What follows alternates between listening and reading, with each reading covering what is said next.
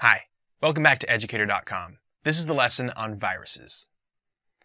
So some virus basics, what are these things? And we're not talking about the computer kind.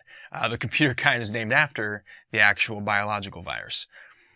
They are non-living structures that have the potential to harm every other life form on Earth. Now, I don't want you to think that um, one single virus, like one type of virus, can infect everything on its own. That's not what I mean. I mean that any life form you can think of, bacteria, fungus, amoebas, plants, any animal, there is a virus that can invade its body and potentially kill it. Um, and that's amazing to think about, that viruses being so tiny uh, can be so harmful. And they are considered non-living. Um, why? You know, if we're talking about them in biology and, and they're able to invade and, and infect living beings, what makes them not alive? Well, couple main reasons. They cannot metabolize nutrients. So when you think of every single other life form, it's made of cells.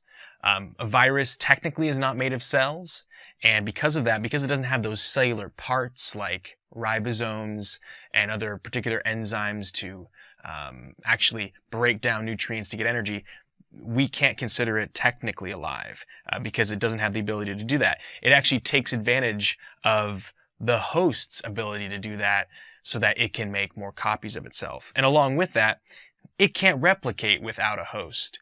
Um, there actually are some, some living parasites that this is true of as well. There are some parasites that have to be in an animal body to reproduce, and then they leave that animal body, invade another animal, and so on.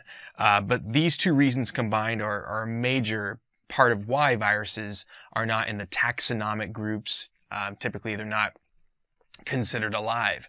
Um, some scientists don't necessarily agree with that.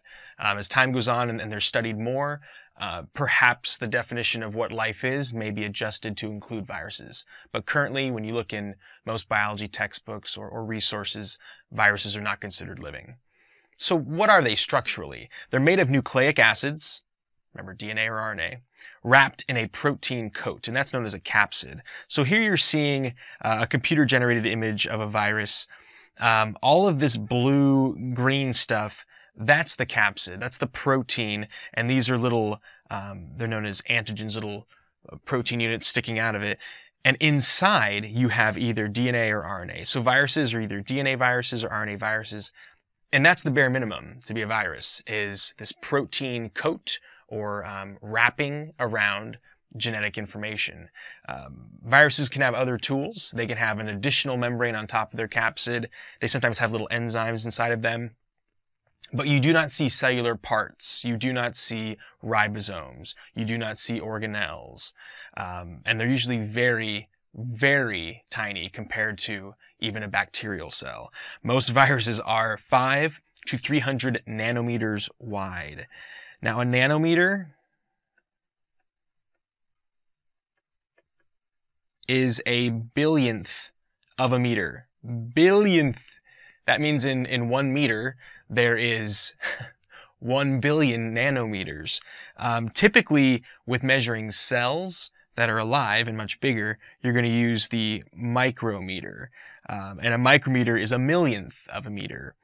So in, in one nanometer, there are a thousand of these uh, micrometers. It's a very huge size difference. And that's actually a good distinction to make because um, many viruses, if you laid them end to end to end, um, a thousand of them across could fit in one cell.